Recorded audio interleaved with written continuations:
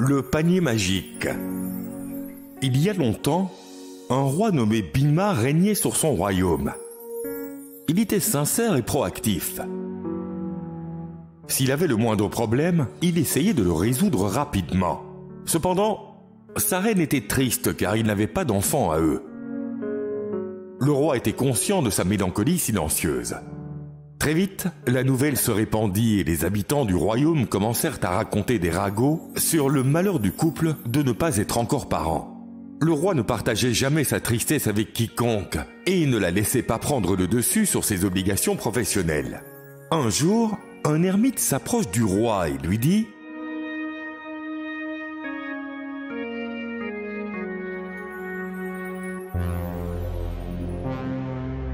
Mon roi, j'ai parcouru un long chemin pour te rencontrer.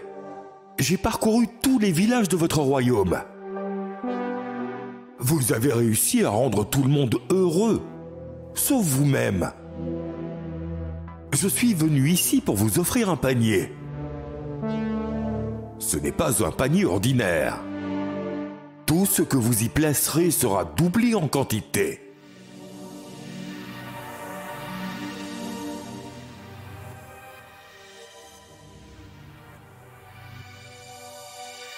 Le roi est allé tout raconter à la reine. Êtes-vous sûr que c'est réel? Est-ce que ça va vraiment faire doubler les choses? C'est ce que l'ermite a dit. Pour être honnête, j'ai moi-même du mal à le croire. Est-ce vraiment un panier magique? La reine a retiré un de ses bracelets et l'a placé dans le panier. Il se transforma en deux bracelets identiques. Le roi et la reine étaient enchantés. Cela signifiait qu'il n'y aurait jamais de déficit dans leur royaume. Ils régneraient toujours dans un état d'abondance. Mais pourtant, le roi et la reine n'étaient pas complètement satisfaits de leur vie. Ils aspiraient toujours à avoir une progéniture. Après quelques jours, le gardien de la porte approcha du roi et lui dit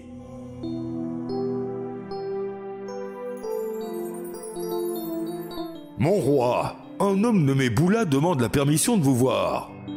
Il est accompagné de sa femme, cas, et d'un nouveau-né. Le roi a approuvé son entrée. Boula croise les mains pour montrer son respect pour le roi et dit Mon roi, nous savons que vous désirez un enfant. Nous aimerions que vous preniez notre enfant. Veuillez vous considérer comme ses parents à partir de maintenant. Avant que le roi ne puisse répondre, la reine s'est précipitée pour prendre l'enfant des bras de Suleka et l'a embrassé. Elle commence à remercier le couple à profusion. Le roi observe tout cela en silence. Il était occupé à observer Bola et Suleka. Leur visage semblait calme, mais il pouvait sentir une douleur sous-jacente dans leurs yeux.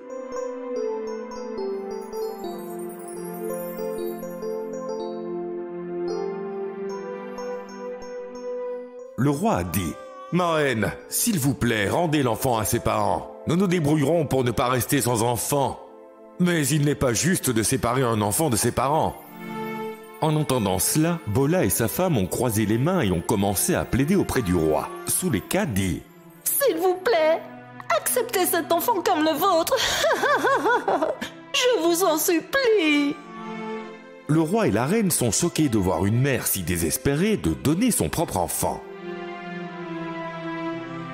Pourquoi voulez-vous que nous prenions votre enfant? Nulle part dans le monde une mère ne donnera son enfant, à aucun prix. Et vous êtes ici à vous porter volontaire pour le faire. Donnez-moi la vraie raison. Bola expliqua. En voici la raison. Nous avons été maudits. Si nous ne donnons pas notre bébé à un couple sans enfant dans douze jours, au treizième jour, notre bébé cessera de vivre. Mon roi, aujourd'hui est le douzième jour depuis sa naissance. S'il vous plaît, accordez-nous une faveur et acceptez cet enfant comme le vôtre. Nous ne voulons pas qu'il meure. Hmm. Allez-y et reposez-vous un moment. Nous vous ferons connaître notre décision sous peu. Le roi se dirige vers un endroit isolé du jardin. La reine le suit, un bébé à la main. Elle observe le roi et le trouve bouleversé. Ne pas être heureuse en ce jour Le Seigneur nous a enfin bénis d'un enfant. Ce couple nous donne volontairement leur enfant. Nous ne leur avons jamais demandé. Au lieu de t'extasier, tu t'inquiètes inutilement. Mon propre sujet se séparera de son enfant et passera le reste de sa vie à le regretter. Comment puis-je être heureux quand quelqu'un d'autre souffre? La reine a commencé à réfléchir à ce sujet. Puis elle dit Mon roi, pourquoi ne pas placer cet enfant dans le panier magique? De cette façon, nous aurons deux enfants au lieu d'un.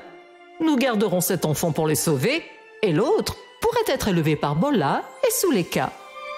Dès qu'il a entendu cela, son visage s'illumina de bonheur. Hum, je n'y avais même pas pensé. Viens, ma reine. Ramenons cet enfant à l'intérieur. Le panier est à l'intérieur du palais. Tu peux l'y placer. Nous aurons deux bébés au lieu d'un. Le roi et la reine se précipitent à l'intérieur, là où se trouve le panier. La reine place l'enfant dans le panier. Maintenant, il y avait deux bébés au lieu d'un dans le panier. Le roi prit le deuxième enfant et la reine prit le premier bébé. Ils retournèrent auprès de Bola et de sa femme. Le roi dit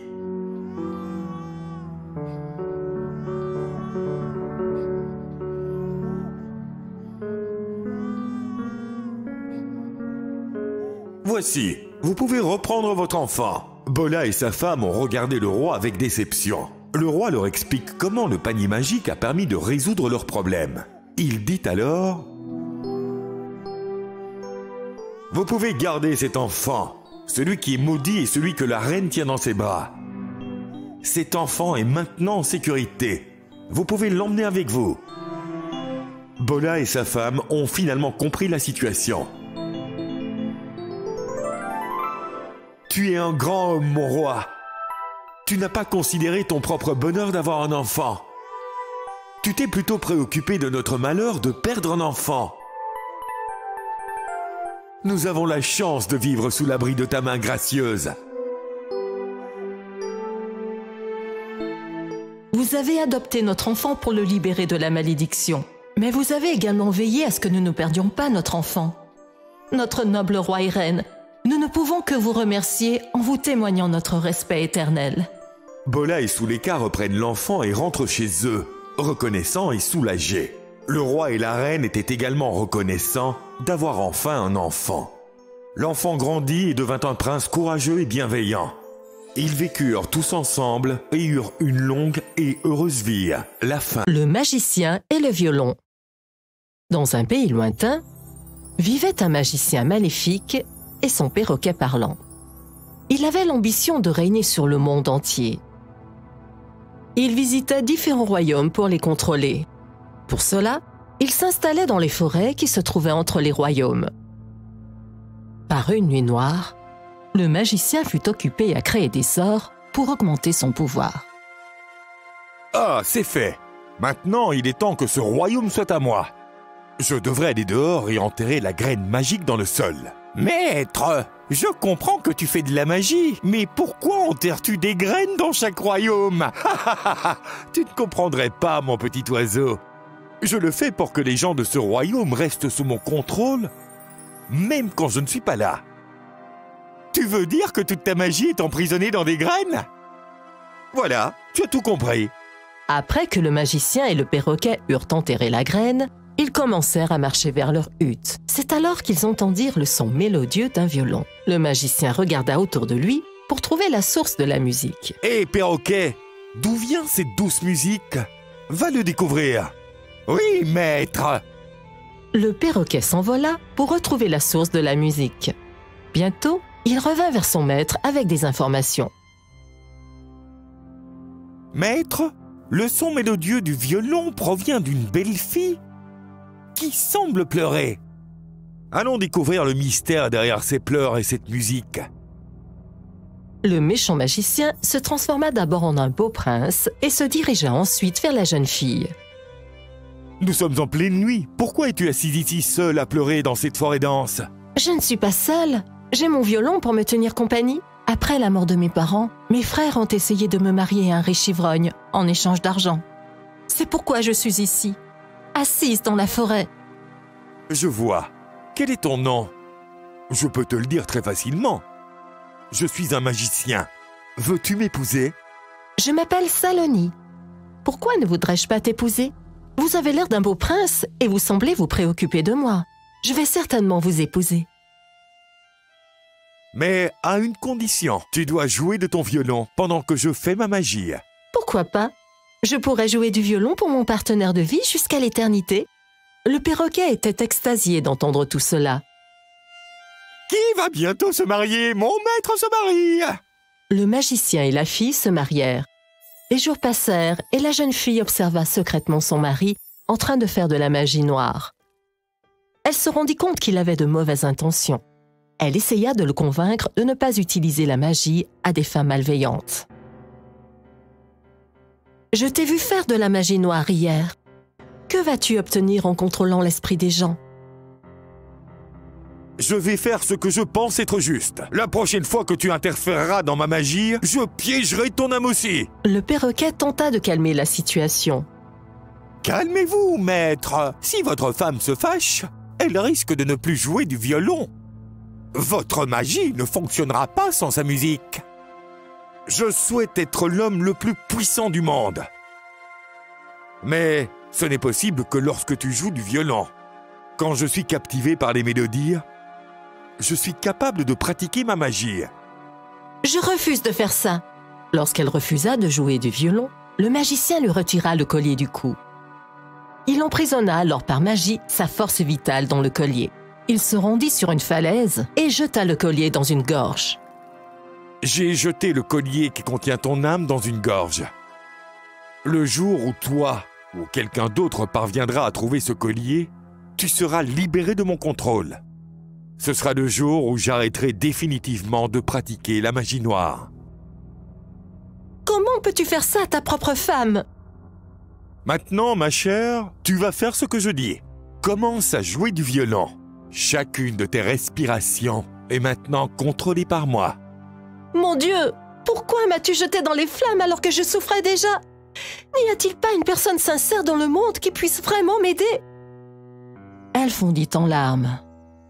Un jour, alors qu'elle jouait du violon, elle remarqua un sac. Elle s'approcha pour l'inspecter. Elle y trouva des graines à l'aspect inhabituel. Lorsqu'elle en toucha une, la graine se mit à parler. Merci beaucoup de m'avoir touché. J'étais liée par le magicien. Ton contact m'a libérée de son contrôle. Comment cela fonctionne-t-il? Le magicien avait piégé mon âme. Il menaçait de me détruire si je refusais de suivre ses ordres.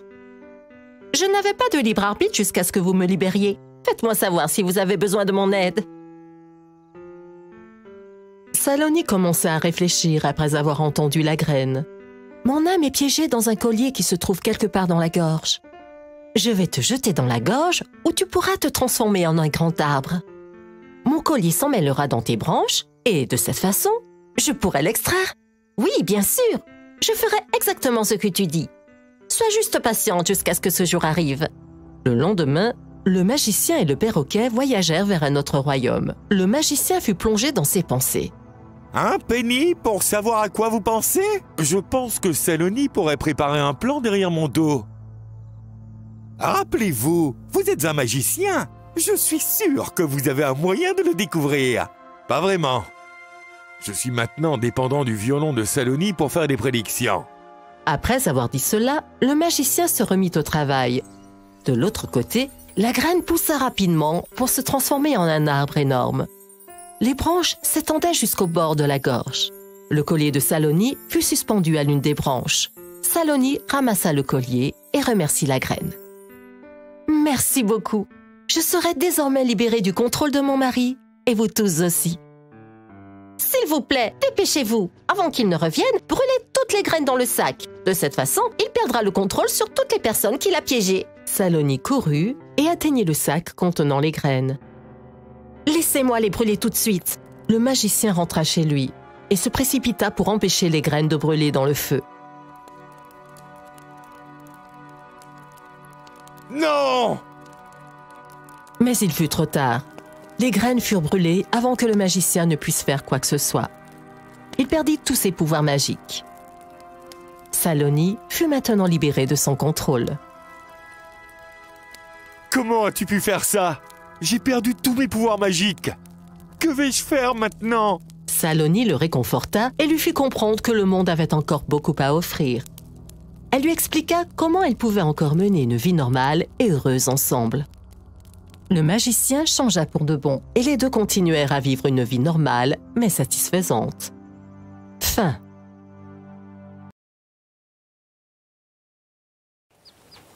La fée perdue. C'est une histoire sur le véritable amour et le sacrifice. Steven, qui était le prince d'un vaste royaume, se promenait sur son cheval dans la jungle. Il était absorbé par le paysage lorsqu'il a entendu une fille crier de douleur. Il sauta de son cheval et se dirigea vers la source du bruit. Il a trouvé une belle fille assise près des buissons qui était peut-être blessée.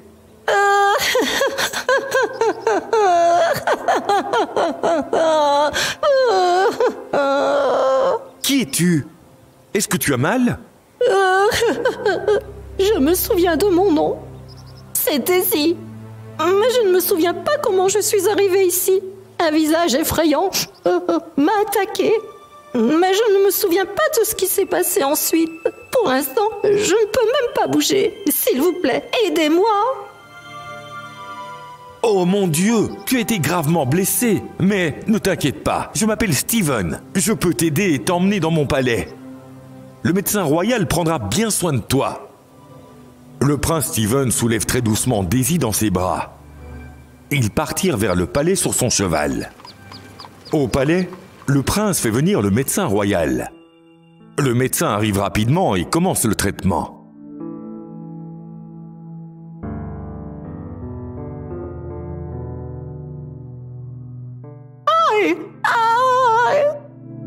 Je suis conscient que tu souffres encore. Laisse le temps aux médicaments du médecin d'agir. Tu vas bientôt te sentir mieux. Ces potions sont amères, mais efficaces. Ferme les yeux et avale-les. hmm? Le traitement de Daisy se poursuivit et elle commença à se rétablir. Elle peut maintenant se promener dans le palais. Personne n'était autorisé à entrer dans sa chambre, sauf la famille royale, le médecin et ses assistants. Le prince passait plusieurs fois par jour pour voir comment elle allait.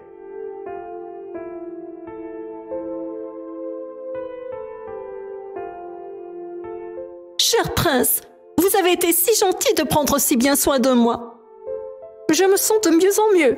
Je devrais planifier mon retour à la maison. Mais sur ma vie, je ne me rappelle pas où est ma maison. Daisy, ne te précipite pas. Je dois m'assurer que tu récupères complètement. Jusqu'à ce que tu ne retrouves pas complètement ta mémoire perdue, considère-toi comme notre invité royal. J'ai tout prévu pour que tu t'amuses. Steven et Daisy devinrent très proches l'un de l'autre.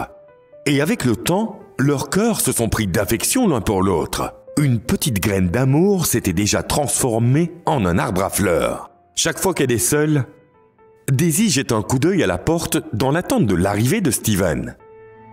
Steven, je commence à croire que je devrais rester ici pour toujours. Je ne trouverai jamais un vrai compagnon comme vous nulle part. Je ne peux pas imaginer vous quitter. Daisy, qui te demande de partir? Maintenant, je sens que nous devons passer le reste de notre vie ensemble. Je le veux aussi. Steven, quand vous êtes loin de moi, mon cœur attend votre retour le plus vite possible. Mes yeux se languissent de vous revoir. Votre visage est toujours présent dans mon esprit. Daisy, je ressens la même chose. Où que j'aille, je ne me sens pas à ma place. Puis je me retrouve à vouloir revenir vers toi, encore et encore. Je n'ai jamais éprouvé ce genre d'attirance intense pour quelqu'un auparavant. Une nuit, un objet volant s'est posé près du palais. Deux fées en sont sorties. Le prince Steven était stupéfait de les voir. Les deux fées se sont envolées directement vers la chambre de Daisy. Daisy, viens avec nous. Nous sommes venus pour te ramener. Notre véhicule volant est juste à l'extérieur. Qui êtes-vous? Où voulez-vous m'emmener dans votre véhicule volant? Daisy, qu'est-ce que tu racontes? Nous sommes venus pour te ramener au pays des fées. Tu es une fée comme nous. Tu ne peux pas rester sur Terre pour toujours. Oh non Je ne vois plus ta perle magique sur ton cou. Où l'as-tu perdue? Tu vois, c'est pour ça que tu ne te souviens de rien. Nous pouvons demander à la Reine des Fées de te rendre la mémoire. La fée a utilisé ses pouvoirs magiques pour contacter la reine des fées. La reine des fées a reçu sa demande et a utilisé ses pouvoirs pour accéder à distance et restaurer la mémoire perdue de Daisy. Prince Steven, je réalise que je suis une fée. Je vais devoir rentrer au pays des fées. Après avoir atterri sur Terre, j'étais seule dans la jungle où vous m'avez trouvée.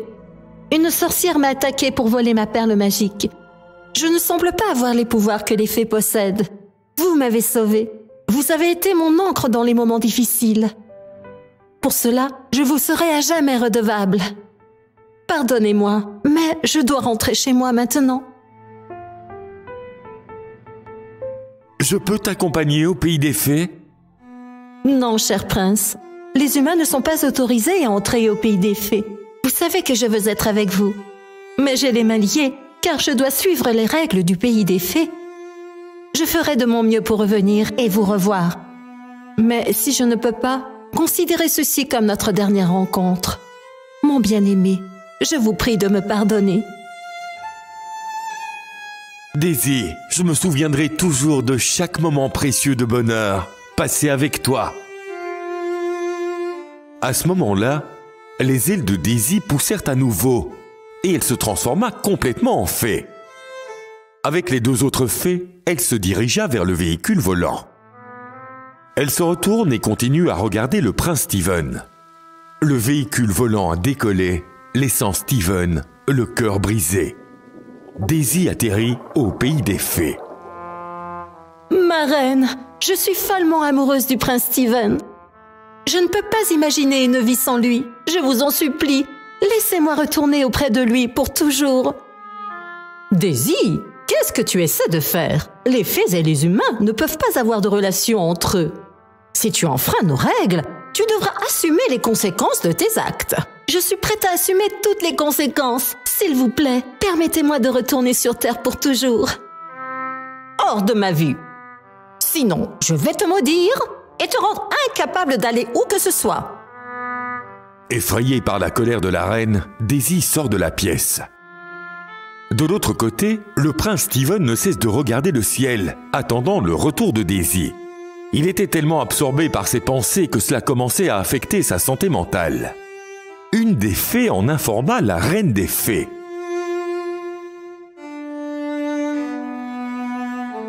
Ma reine, le prince Steven et Daisy sont dans un état très délicat. Leur amour semble être pur et vrai. Ils sont tous deux prêts à tout sacrifier pour leur amour. S'il vous plaît, réfléchissez-y. Je suis désormais convaincue que Steven et Daisy s'aiment vraiment. Je n'ai pas d'autre choix que de l'accepter. Va chercher Daisy et ramène-la ici. Daisy court et tombe aux pieds de la reine des fées. Tu es maintenant libre. Va sur Terre et réclame ton amour. Steven attendait Daisy à l'extérieur du palais. Le véhicule volant apparut et se posa juste devant lui. Venez à moi, ma princesse chérie. Notre sacrifice n'a pas été vain. Le Créateur a orchestré notre union divine. Nous avons gagné la récompense de notre amour véritable et de notre sacrifice. Daisy se précipite dans les bras de Steven et l'embrasse. Le véritable amour a gagné une fois de plus. Les deux sont unis par les liens sacrés du mariage. Leurs vies sont enrichies de bonheur. Le lac des cygnes. Cette histoire débute il y a très longtemps, lorsque la princesse Élisabeth rencontrait des prétendants pour trouver un époux. Des princes du monde entier se réunissaient pour la rencontrer et l'impressionner. Le roi Éric était l'un des prétendants. Il n'était pas vraiment beau. La princesse Élisabeth faisait le tour de la salle, discutant avec les prétendants et se forgeant une opinion. Lorsqu'elle atteignit Éric, elle le regarda et fit une grimace pour exprimer sa déception. Éric fut blessé et offensé. Il se sentit insulté et dans un accès de rage, il la maudit. Princesse Elisabeth, es-tu si fière de ta beauté que tu me regardes de travers parce que je ne réponds pas à tes critères? Je te maudis. À partir de maintenant, tu ne seras plus une princesse. Tu seras transformée en cygne. Élisabeth et son père étaient très inquiets après avoir entendu ces mots. Ils demandèrent le pardon d'Éric. Prince Éric, j'ai commis une erreur. S'il vous plaît, pardonnez-moi pour mon erreur. Prince, pardonnez-lui s'il vous plaît. Elle est très jeune et immature. C'est pourquoi elle est insolente. Je vous en prie, retirez vos paroles. La vie de ma fille sera ruinée. Le prince Éric commença à se calmer. Pardonnez-moi, roi. Malheureusement, je ne peux pas annuler la malédiction. Mais je peux vous donner la solution pour la libérer de la malédiction. Si un homme tombe amoureux de votre fille lorsqu'elle est sous sa forme d'un cygne, la malédiction peut être brisée. Autre chose, il est très important que l'homme qui tombe amoureux d'elle ne soit absolument pas au courant de la malédiction. Sinon, cela ne fonctionnera pas. Dès qu'il eut terminé sa phrase, la princesse Élisabeth se transforma en cygne. Elle fut alors transportée sur un lac situé à la périphérie du royaume. De nombreuses années passèrent et la princesse espérait toujours que quelqu'un l'aimerait sous cette forme. Les visiteurs passaient par le lac, mais ils repartaient après avoir admiré le paysage et les cygnes.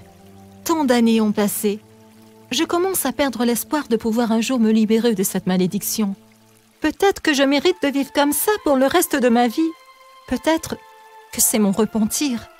Ce soir-là, un jeune voyageur nommé Jacques vint s'asseoir au bord du lac. Ouf, il y avait tellement de bruit en ville. Ici, tout est si calme et tranquille. J'aimerais pouvoir vivre ici pour toujours. Jacques était un homme de la classe moyenne sans famille. Il se sentait en paix assis au bord du lac.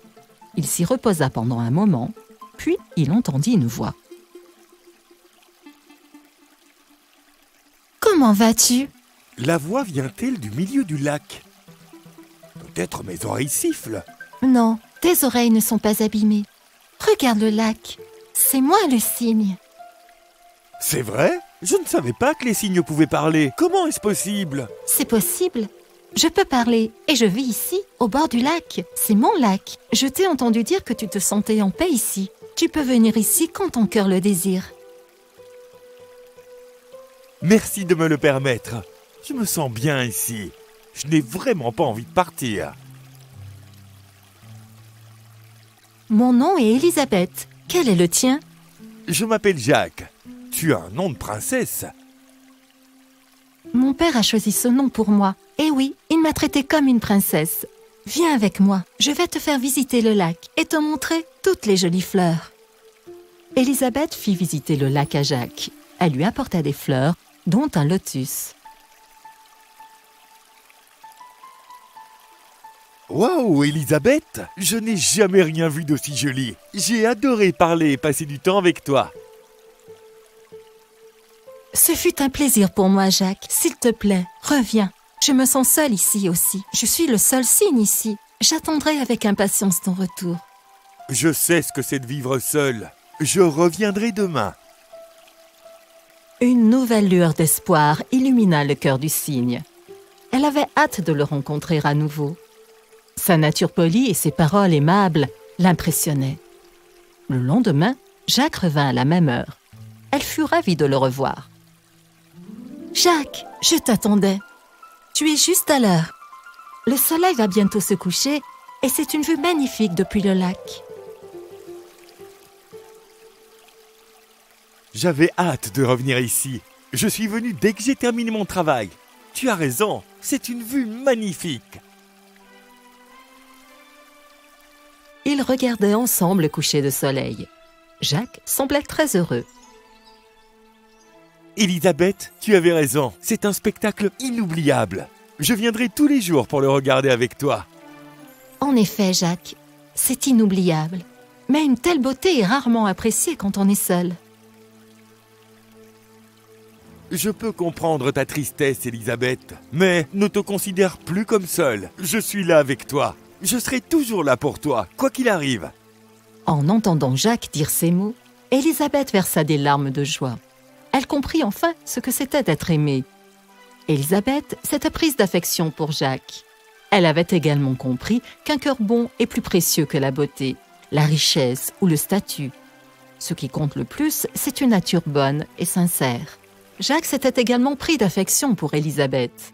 Mais il se posait sans cesse des questions. Un cygne comprendrait-il et accepterait-il son amour? Un jour, Jacques ne se présenta pas au lac. Élisabeth fut inquiète et ne cessa de se demander comment il allait. Elle fut incapable de dormir la nuit. Pourquoi Jacques n'est-il pas venu aujourd'hui? Pourrait-il avoir des ennuis? Seigneur, veillez à ce qu'il soit sauf. Le lendemain, Jacques vint au lac dans l'après-midi, beaucoup plus tôt que d'habitude. En le voyant, Élisabeth dit Jacques, où étais-tu hier? Tu ne m'as jamais informé que tu ne viendrais pas. J'étais si inquiète pour toi. Est-ce que tout va bien? À l'avenir, ne disparais pas comme ça sans me prévenir, s'il te plaît. As-tu la moindre idée combien j'étais inquiète? Oh non, pardonnez-moi Elisabeth. J'ai dû voyager pour le travail. Je viens de rentrer ce matin. Je te promets que je n'irai nulle part sans t'en parler avant. Cela ne se reproduira plus. Je ne voulais pas t'inquiéter. Jacques était secrètement ravi qu'Élisabeth soit si inquiète pour lui. À part sa mère, personne ne s'était jamais soucié de lui de la sorte. Le respect et l'amour qu'il avait ressenti pour elle auparavant s'amplifiaient. Il décida d'avouer ses sentiments à Élisabeth. Il s'occuperait des répercussions plus tard. Elisabeth, j'ai quelque chose à te dire. Oui, Jacques, que voulais-tu me dire? Je suis tombé amoureux de toi. Mon cœur souhaite rester toujours à tes côtés. Quand je me réveille le matin, j'attends avec impatience le moment où je pourrai venir ici et être avec toi. Dès que Jacques prononça ces mots, le cygne se transforma à nouveau en la belle princesse. Jacques était stupéfait et lui demanda Elisabeth, comment t'es-tu transformée en humaine? Es-tu une véritable princesse? Oui, mon cher Jacques. Il y a quelques années, j'avais insulté un prince sur son apparence et il m'avait maudite. Je devais vivre la vie d'un cygne jusqu'à ce que quelqu'un m'aime vraiment, quelle que soit ma forme. Je m'étais faite à l'idée que je mourrais en tant que cygne.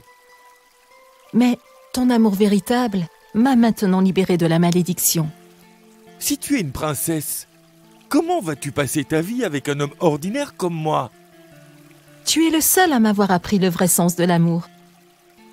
Aucun roi ou prince ne peut se comparer à un homme ordinaire qui est capable d'aimer un cygne. La vraie richesse d'un homme, c'est sa nature, pas son statut. Et je n'ai jamais rencontré quelqu'un d'aussi riche que toi. Je veux t'épouser, Jacques.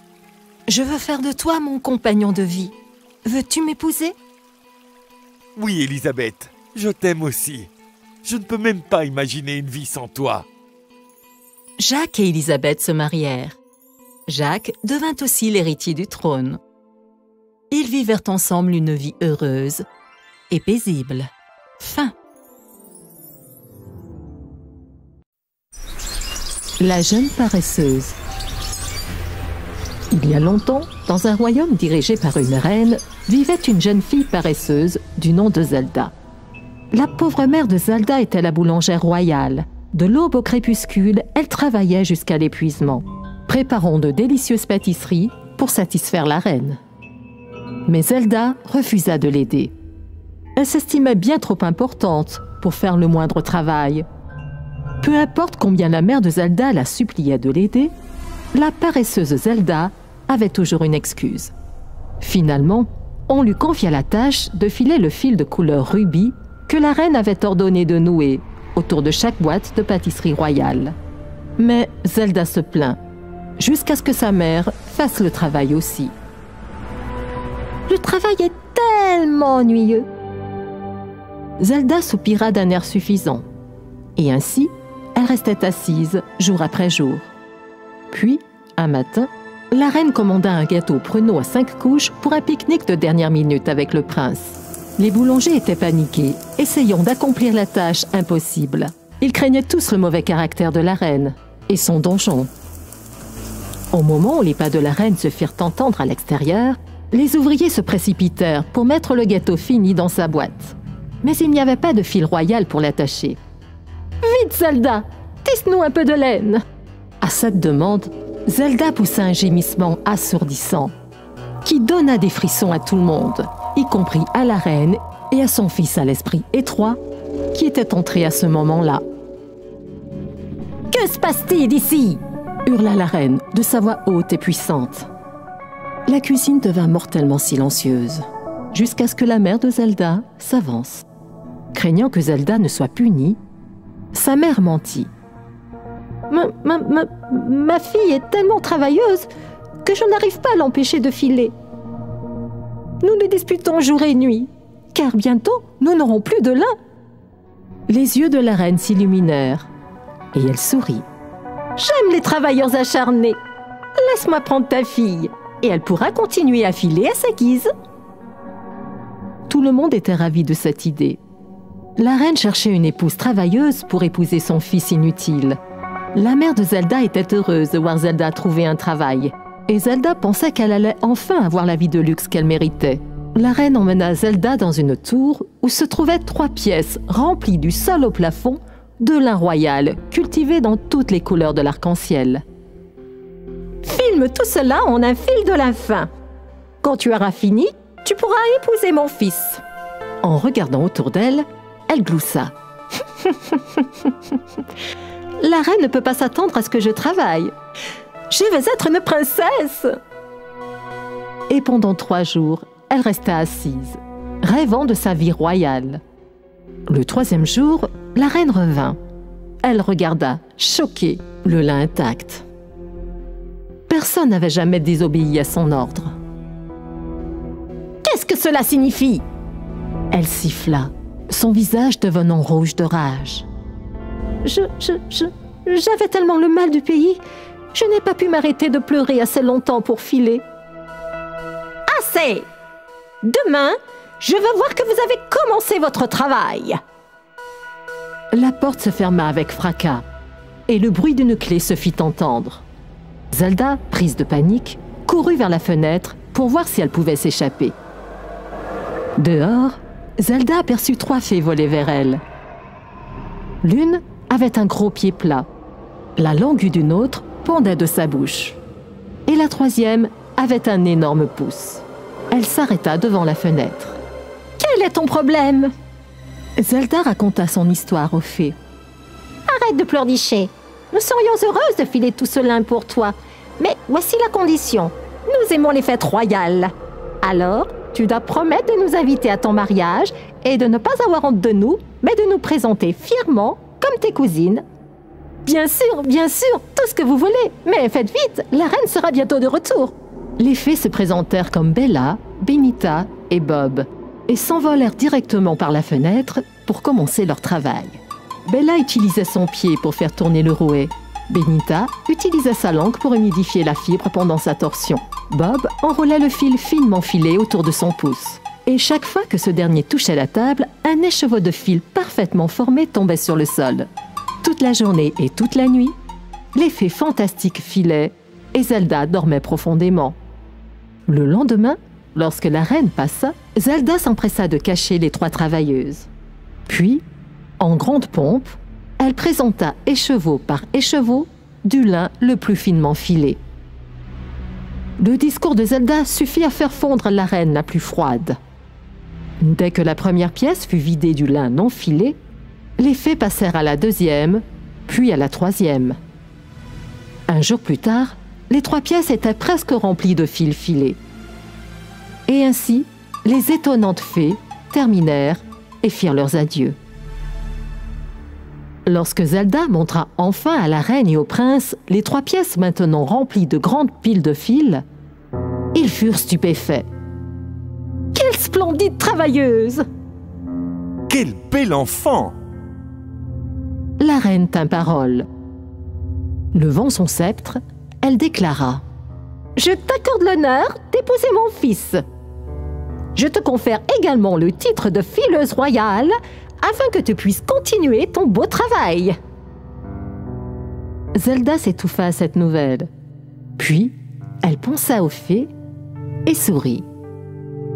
J'ai trois cousines. Peuvent-elles venir à la fête? Ainsi soit-il. Le jour du mariage arrivait bientôt.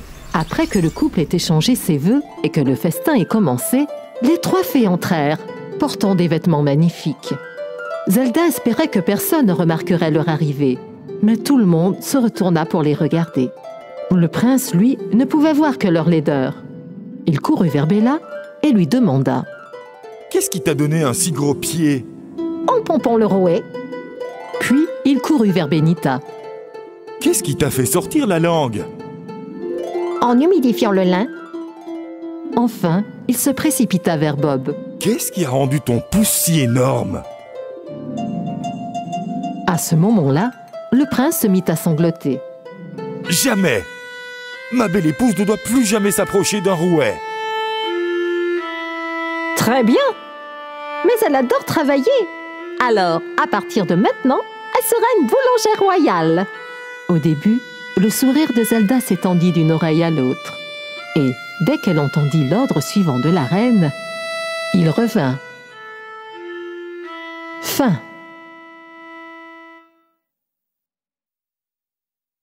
La reine impatiente.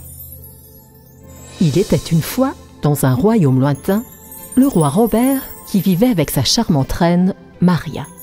Robert était aimé par tout son royaume pour sa gentillesse, mais sa femme était très méprisée, car elle était extrêmement impatiente. Vous mettez trop de temps à me tresser. Je suis désolée, Votre Altesse, mais cette coiffure est très délicate à réaliser. Comment oses-tu me parler ainsi? Quittez ce palais immédiatement. Oh Maria, pourquoi as-tu fait cela? Elle essayait de faire de son mieux. Elle n'était pas assez rapide. Vous devez être patiente, mon amour. Parfois, l'impatience de la reine détruisait la paix, et le pauvre roi essayait de corriger rapidement les problèmes qu'elle causait. Tiens, Maria, j'ai quelque chose que tu vas adorer. Délices Mes préférés Apporte-les-moi de suite. Le roi Robert se demandait comment faire comprendre à sa femme qu'elle devait être patiente. Un jour, il arpentait les cours de son château en pensant à Maria. Je ne comprends pas. Elle était tellement plus gentille et aimable avant de m'épouser. Puis, le roi Robert aperçut un objet flottant dans un ruisseau. Qu'est-ce que c'est? Un bébé? D'où viens-tu? Oh, mon pauvre, je vais te ramener à la maison. Sérieusement, où est Robert? Il est sorti depuis des lustres. Maria, regarde J'ai trouvé un bébé qui flottait dans le ruisseau. Un bébé? Mais comment est-il arrivé là? Regarde, un mot. À celui qui trouvera mon bébé, prenez soin d'elle. Le roi et la reine étaient perplexes, mais ils acceptèrent la responsabilité et le don du précieux bébé. Le roi adorait le petit enfant et décida de l'amener au palais. Tu t'appelleras Diana. Diana était une enfant si chaleureuse et aimante. Et au fil des ans, elle devint une charmante jeune femme. Il y avait une couronne magique spéciale gardée dans le palais. Mais elle n'avait pas brillé depuis de nombreuses années. Un jour, Diana entreprit de fouiller tout le palais. En errant, elle arriva à la tour interdite. Waouh Cet endroit est vraiment grand. Oh, c'est quoi cette énorme porte? Elle alla pousser la mystérieuse porte. Oh, c'est si lourd Pourquoi y a-t-il une couronne ici? Alors qu'elle s'approchait, la couronne se mit à briller. Je ferais mieux d'en parler à papa et maman. Diana, je t'ai dit de ne pas t'approcher de là. Mais il y a une couronne là-dedans, et elle brille. Elle brille? Elle brille Oh, dans ce cas, je suis si heureux pour toi. Je ne comprends pas. Je te le dirai quand tu seras un peu plus âgé. Alors le roi était heureux. La reine était en colère à cause de la couronne. Cette nuit-là, elle se faufila hors du palais et alla voir une sorcière qu'elle connaissait. Ne t'inquiète pas, tout ce que tu as à faire est de mettre cette bague au doigt de ton mari. La magie qu'elle contient lui fera détester Diana. Maria acquiesça et quitta rapidement le palais. Le jour suivant, elle glissa la bague à son doigt. Le jour suivant, quand ils se réveillèrent, Père, mère, j'ai préparé un gâteau pour vous. Le roi Robert jeta un regard à Diana et grimaça. La magie avait déjà commencé à opérer. Diana Oh, je suis désolée. Je voulais juste que tu goûtes ce gâteau que j'ai fait. Il est beaucoup trop salé. Quoi? Non, il me semble qu'il est sucré. La magie de l'anneau avait donné un mauvais goût au gâteau sucré du roi. Et cela continuait à nuire à leur amitié. Un jour de solitude, Diana se rendit dans la pièce où reposait la couronne légendaire. C'est une très jolie couronne. Je me demande de quoi elle aurait l'air sur moi. Seules les personnes de valeur pourront me porter. Qui? Qui es-tu? Je suis la couronne légendaire. Demandez ce que vous voulez savoir. Bon, d'accord. Il y a une chose que je veux savoir. Pourquoi mes parents se comportent-ils si bizarrement ces derniers temps? La couronne révéla toute la vérité à Diana sur l'anneau magique. Donc mon père ne me déteste pas. C'est juste un sort. Mais ma mère est... Non, ce n'est pas ta mère qui veut la couronne, mais la sorcière. Votre mère est impatiente, mais elle reste une femme merveilleusement gentille. La couronne a dit à Diana que la sorcière voulait régner sur le royaume grâce à ses pouvoirs. Mais c'était trop risqué pour elle, et elle souhaita donc la contrôler à travers Maria. Mais comment rompre le charme de ma mère? La reine doit le briser elle-même en apprenant à être patiente. Diana eut alors une idée. Ma mère aime les lys. Peut-être que si elle apprend à les cultiver et à être patiente avec eux, le sort sera rompu. Mais comment les obtenir? Demande-les-moi et tu les recevras grâce à ma magie. En utilisant la magie de la couronne, Diana crée un jardin de magnifiques lys roses. Mais bientôt, la reine nomma des jardiniers pour s'en occuper. Oh non, ce n'est pas ce qui devait se passer. Lorsque Maria se rendit dans le jardin quelque temps après, elle fut furieuse de voir certaines des fleurs se faner. Elle cria sur les jardiniers. Si vous ne pouvez pas vous occuper des lys, c'est moi qui le ferai. Et pour le plus grand bonheur de Diana, on vit désormais la reine travailler tous les jours dans le jardin. L'amour de Maria pour les lys était si fort qu'elle ne pouvait pas du tout se mettre en colère. En étant patiente avec les fleurs, elle devint bientôt patiente avec les autres aussi. Diana remarquait très vite le changement chez Maria. Et un jour, elle lui dit Maman, les lys n'ont pas encore fleuri Pas encore. Mais je suis heureuse tant qu'elles sont en bonne santé. Elles fleuriront en leur temps. Alors la reine s'évanouit. Le sort fut rompu. Et quand la reine se réveilla, elle alla très bien. La première chose qu'elle fit fut d'enlever l'anneau du doigt de son mari. Le roi avait des souvenirs de ce qui s'était passé ces derniers jours. Comment ai-je pu me comporter de la sorte avec ma douce Diana? J'ai quelque chose à te donner. Diana souleva la couronne et la plaça sur la tête de la reine. Elle continua à briller. Il semble que vous soyez toutes deux dignes de la couronne. Je pense que Diana devrait avoir la couronne. Elle en est vraiment digne. Car sa patience nous a tous sauvés. Et ainsi le royaume fut à nouveau un endroit joyeux. Le roi était très heureux de voir cela. Diana continua d'être aussi douce que jamais. Elle a enseigné à tous que la patience était une grande vertu et qu'elle peut changer si l'on prend simplement à apprécier les gens. Et elle les laissait s'épanouir en leur temps. Fin. Mère Holly. Il y a bien longtemps, vivait une veuve qui avait deux filles. L'une était jolie, humble et travailleuse, et s'appelait Julia. Et l'autre était laide, vaniteuse et paresseuse, et s'appelait Jade. Mais la veuve aimait Jade plus que Julia. Celle-ci faisait faire à Julia tout le travail de la maison. Oh, tous les jours je dois m'asseoir ici, près du puits, et tourner jusqu'à ce que mes doigts soient en sang. Alors, elle devait laver ses doigts en sang dans l'eau du puits. Mais un jour, son fuseau tomba dans l'eau. Oh, qu'ai-je fait? Ma belle-mère va me punir pour avoir perdu le fuseau. Je dois entrer dans le puits et le récupérer. La fillette n'avait pas d'autre choix que de se jeter dans le puits pour récupérer le fuseau. Et elle descendit jusqu'à ce qu'elle s'endorme. Quand elle se réveilla, elle se retrouva sur le sol sous un sureau. Où suis-je? Je ne me souviens pas de ce qui m'est arrivé.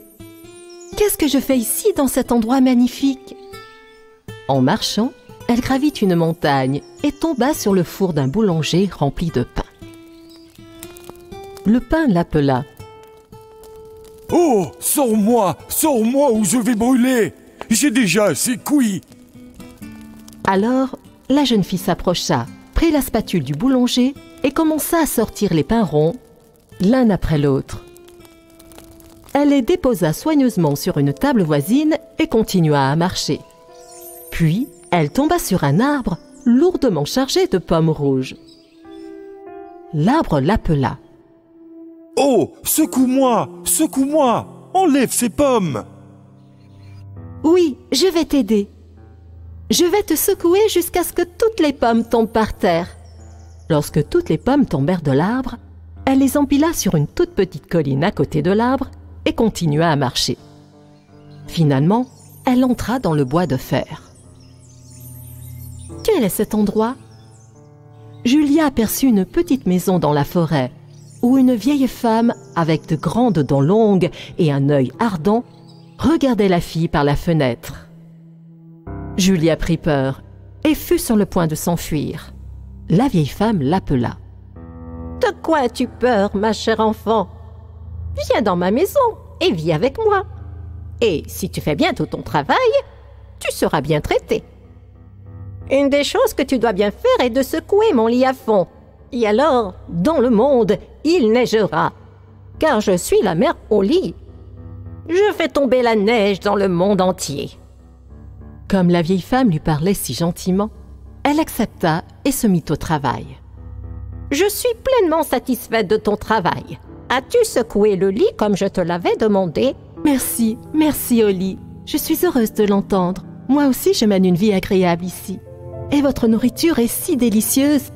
Mais après quelques mois, la jeune fille commença à se sentir triste et pensa à rentrer chez elle.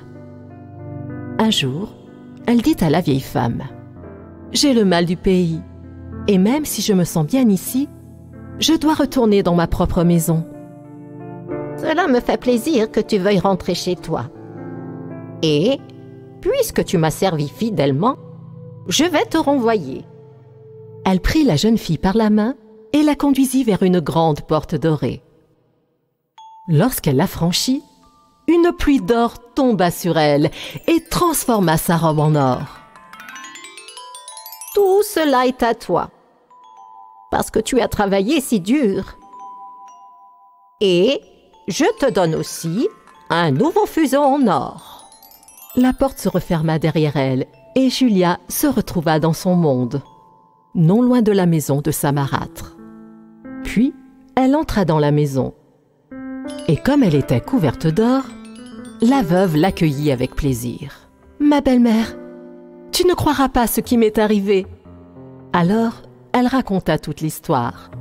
Et quand la belle-mère entendit comment la belle-fille était devenue riche, elle se mit à souhaiter que sa propre fille, laide et paresseuse, puisse avoir la même fortune.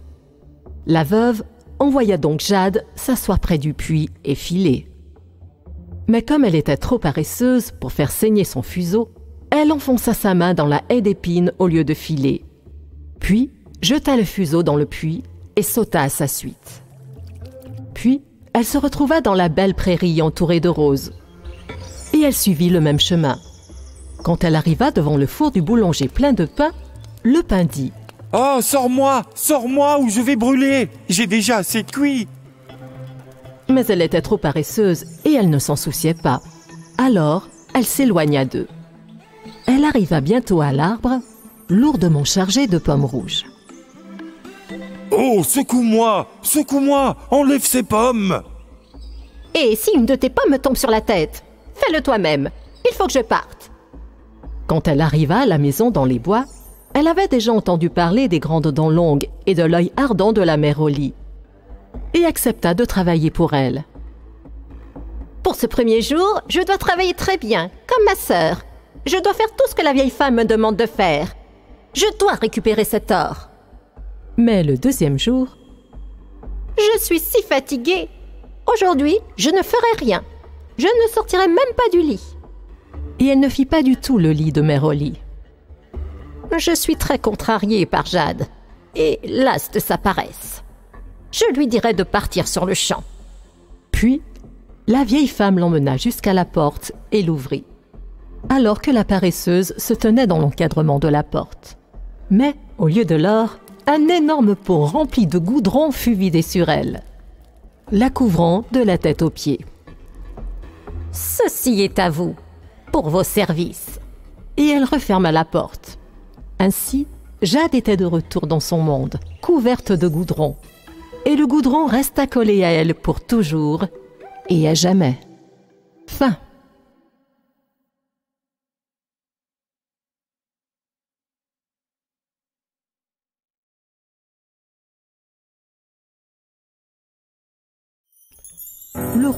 Barbe de Grizzly.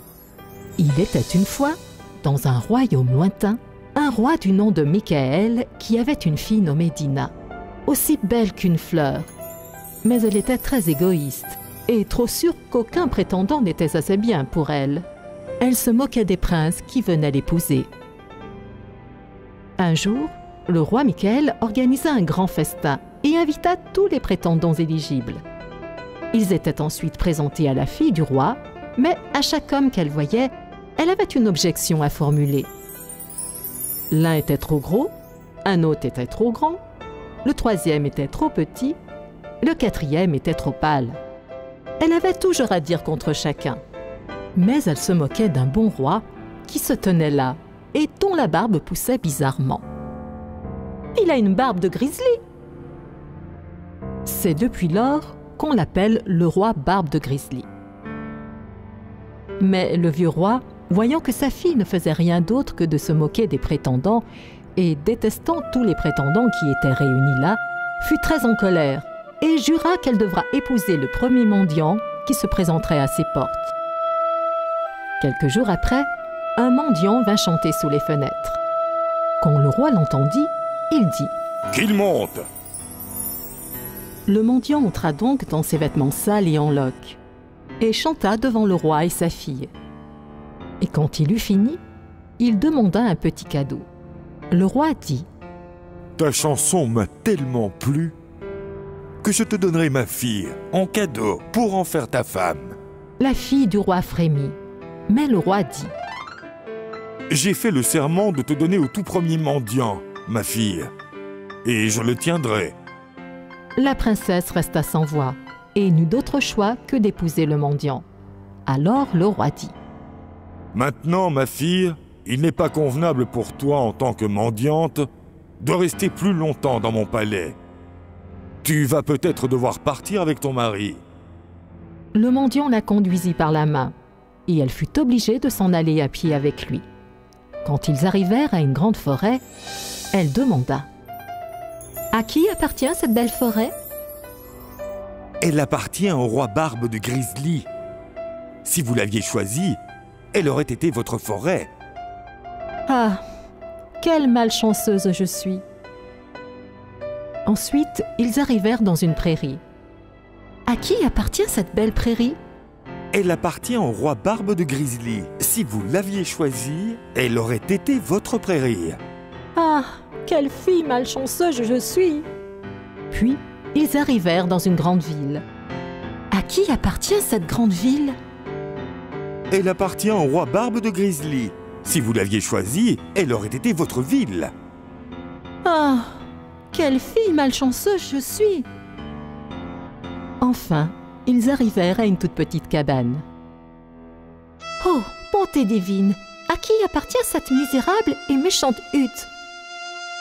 C'est ma maison où nous allons vivre ensemble. Elle entra dans la hutte. Où sont les domestiques? Quel domestique? Tu es ma femme maintenant.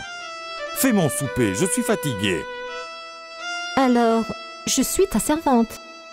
Oui, Mais Dina ne connaissait rien à la cuisine, et le mendiant dut se préparer le dîner. Puis ils allaient se coucher, mais il l'obligeait à se lever tôt le matin. Pendant quelques jours, ils vécurent de cette façon et finirent toutes leurs provisions. Femme, nous ne pouvons plus continuer à ne rien gagner. Je vais essayer de vendre des pots d'argile. Tu dois t'asseoir sur la place du marché et vendre les poteries. Si les gens du royaume de mon père viennent au marché et me voient assise là, en train de vendre, que penseront-ils de moi? Mais le mendiant n'était pas d'humeur à l'écouter. Le lendemain, elle s'assit à l'angle de la place du marché. Mais soudain, un cavalier ivre arriva et roula sur les pots de sorte qu'ils furent tous brisés en mille morceaux.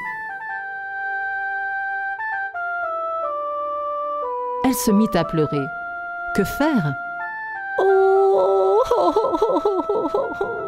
non Elle courut à la maison et raconta son malheur au mendiant.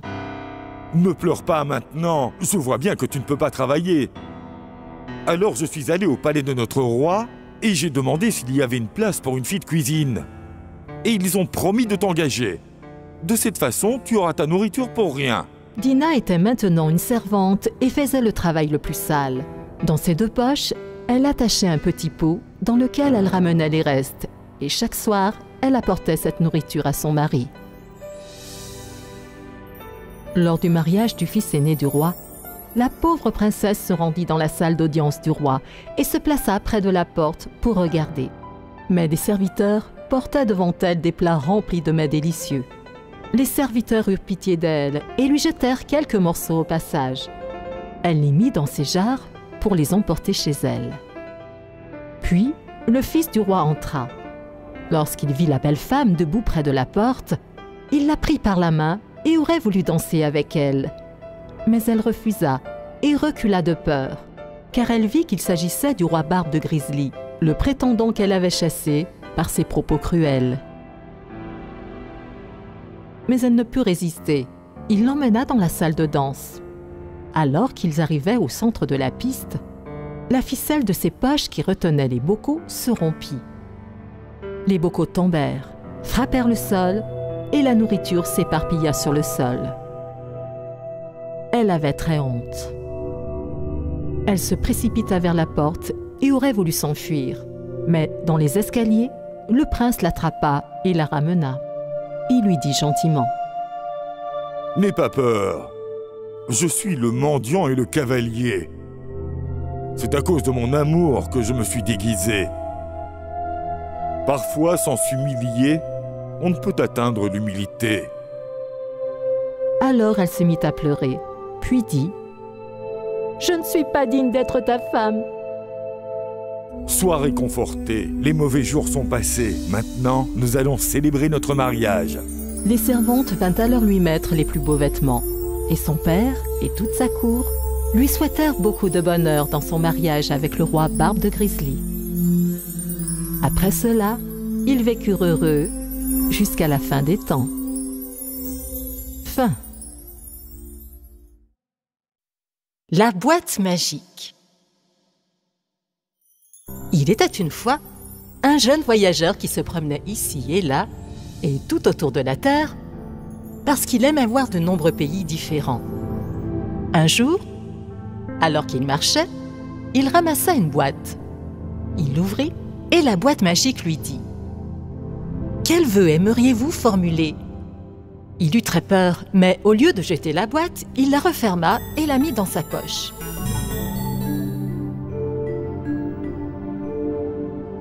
Puis, il continua son chemin, de plus en plus loin, et en s'éloignant, il se dit Si elle me dit à nouveau, quel vœu aimeriez-vous formuler? Je saurais mieux quoi dire cette fois-ci. Il sortit donc la boîte magique et l'ouvrit. Et elle demanda à nouveau Quel vœu aimeriez-vous formuler? Que mon chapeau soit rempli d'or. Et instantanément, le chapeau était rempli de pièces d'or. Alors maintenant, il n'aura plus besoin de rien. Alors il s'en alla, loin, loin, loin, à travers d'épaisses forêts, jusqu'à ce qu'il arrive enfin à un beau château. Dans le château vivait un roi. Le jeune homme fit le tour du château jusqu'à ce que le roi le remarque et lui demande ce qu'il y faisait. Je regardais votre chapeau. Vous aimeriez en avoir un comme ça, n'est-ce pas? Le jeune homme ne répondit pas. Mais lorsque le soleil se coucha et que la nuit arriva, il prit sa boîte magique et ouvrit le couvercle. Quel est votre vœu? Construis-moi un château avec des murs en or et des tuiles de diamants, et des meubles tout en argent et en or. Il avait à peine fini de parler qu'il se tenait devant lui, exactement en face du palais du roi, un château construit exactement comme il l'avait ordonné. Lorsque le roi se réveilla, il fut étonné de voir le magnifique palais briller sous les rayons du soleil.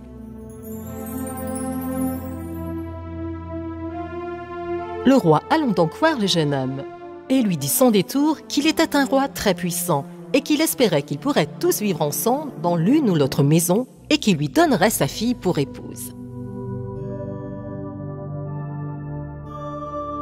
Tout se passa donc comme le roi l'avait demandé. Le jeune homme épousa la princesse et ils vécurent heureux dans le palais d'or. Mais la femme du roi était jalouse du jeune homme et de sa fille. La princesse avait parlé à sa mère de la boîte magique qui leur donnait tout ce qu'ils voulaient. La reine soudoya un serviteur pour voler la boîte magique.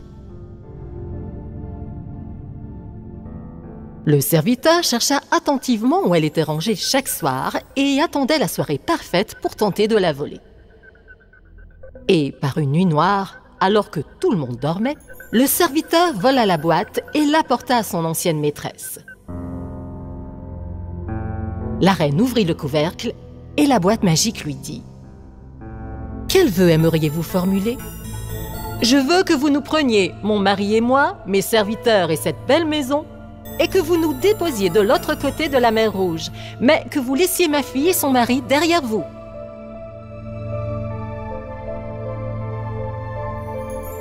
Quand le jeune couple s'est réveillé, il se trouvait de nouveau dans le vieux château et la boîte magique avait disparu. Le jeune homme monta aussitôt sur son cheval et remplit ses poches avec autant d'or qu'il pouvait emporter. Il fouilla tous les pays voisins, un par un, cherchant en vain la boîte magique. Mais bientôt, son argent s'épuisa. Mais il continuait d'avancer, aussi vite que la force de son cheval lui permettait. Quelqu'un lui dit qu'il devait aller trouver le monstre, car le monstre voyageait loin et pourrait lui dire quelque chose. Il voyagea donc longtemps et chercha le pays du monstre. Il y trouva une vieille femme qui lui dit « Que faites-vous ici? Mon fils mange tous les êtres vivants qu'il voit. Si tu es intelligent, tu devras t'enfuir et tu ne reviendras pas. » Mais le jeune homme lui raconta toute sa triste histoire. Et il a dit que peut-être son fils, qui a voyagé si loin, aurait vu un palais d'or. Alors qu'il prononçait ces derniers mots, le monstre entra et dit qu'il sentait un âme savoureux. Alors, il pensa que ce devait être l'heure du dîner. Mais sa mère lui dit que c'était un pauvre voyageur, qui avait tout perdu et qu'il avait fait tout ce chemin pour lui demander conseil. Elle dit au jeune homme de ne pas avoir peur, mais de s'avancer et de se montrer. Il s'approcha donc courageusement du monstre et lui demanda si, par hasard, il avait vu un palais d'or. Oui, j'avais vu le palais d'or et j'ai même essayé de détruire pour manger les gens qui s'y trouvaient. Mais ce palais est si fort que je n'ai pas pu trouver le moyen d'y entrer. Oh, dites-moi où il se trouve. Il est très loin. De l'autre côté de la mer Rouge. Finalement, après tant de voyages, le jeune voyageur savait où trouver son palais.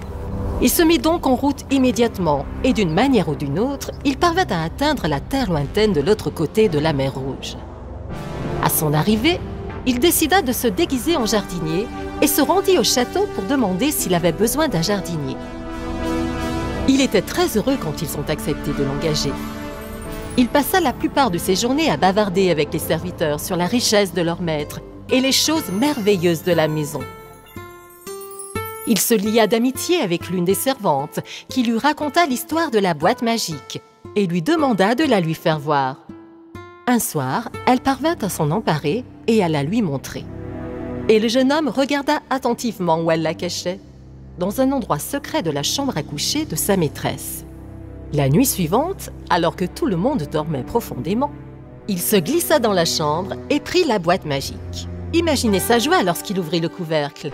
Il lui demanda Quel vœu aimeriez-vous formuler? Je veux retourner dans mon palais à l'ancien endroit. Et que le roi et la reine et tous leurs serviteurs soient noyés dans la mer Rouge. Il a peine fini de parler qu'il s'est retrouvé de nouveau avec sa femme, alors que tous les autres habitants du palais étaient couchés au fond de la mer Rouge. Fin. Les conditions du Tout-Puissant.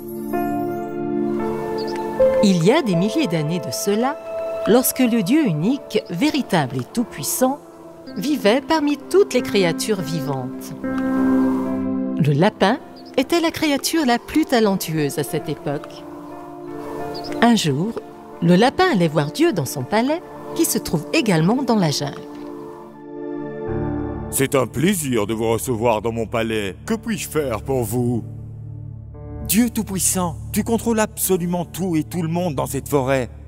Tu es un vrai seigneur. J'ai besoin d'une faveur. De quel genre?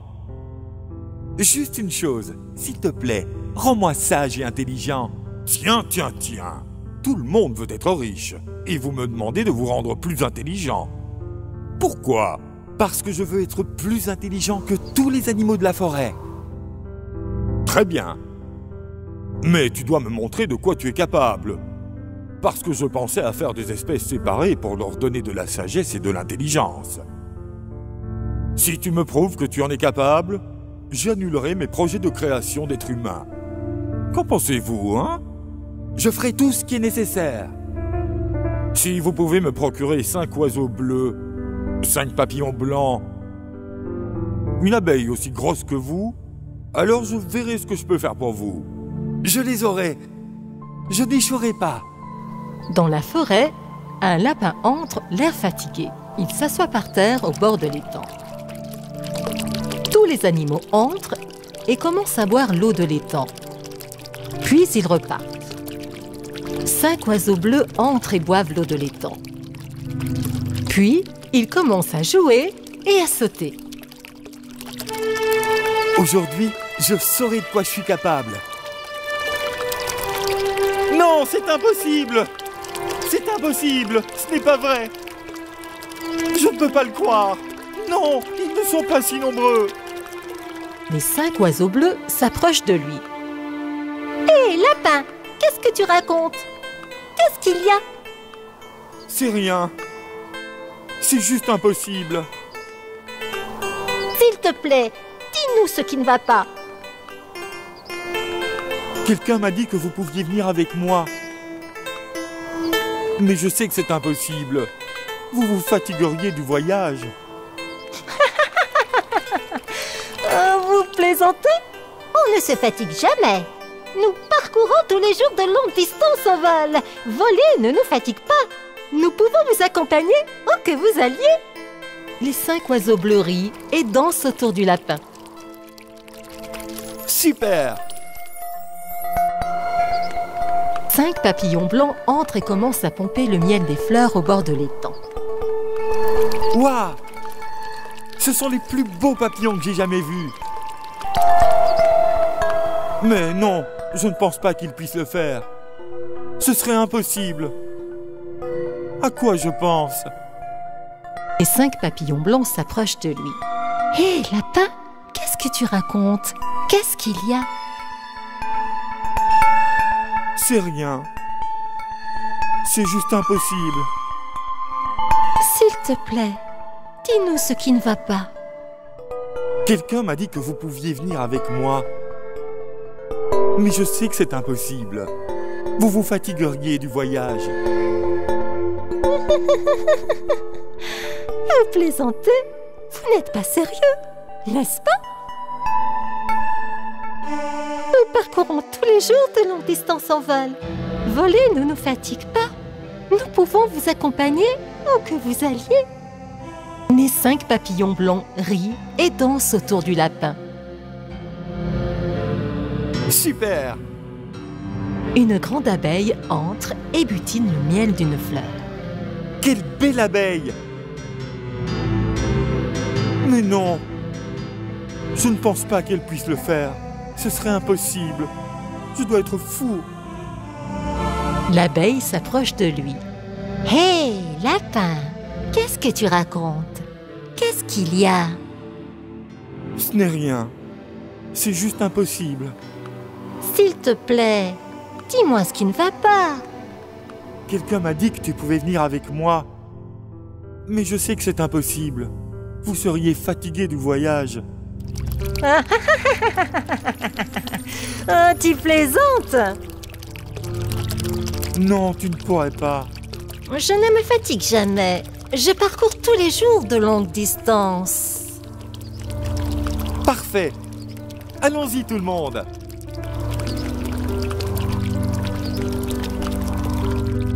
Hé, attendez, vous ne nous avez pas dit où on va. C'est une grosse surprise. Est-elle bonne ou mauvaise? Bonne, bien sûr. Allons-y avant qu'il fasse nuit. Au palais de Dieu, le lapin, cinq oiseaux bleus, cinq papillons blancs et l'abeille géante se tiennent devant le Dieu. Je t'attendais.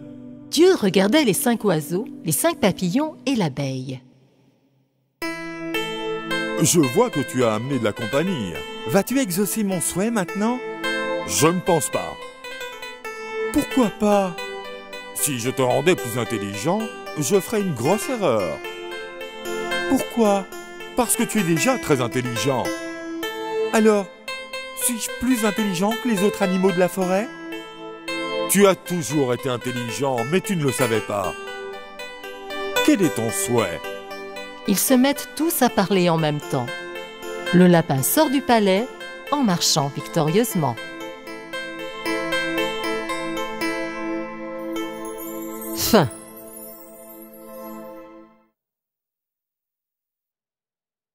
Si vous avez aimé cette histoire, n'hésitez pas à vous abonner à notre chaîne et à cliquer sur l'icône de la cloche pour les prochaines éditions. Surtout, n'oubliez pas de commenter.